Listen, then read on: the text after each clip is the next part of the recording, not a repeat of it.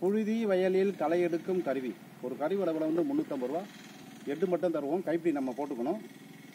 முந்நூற்றம்பது ரூபா. மூணு கருவி வாங்கினா ஆயிரம் இது மதுரை மாவட்டம் மேலூர் உற்பத்தி செய்கிறோம் ஒரு நாளைக்கு அதிகபட்சம் ஐம்பது செடி வரை களை வெட்டினா முந்நூற்றம்பது ரூபா. கைப்பிடி நம்ம போட்டுக்கணும். வெட்டி காட்டுறோம் பாருங்கள்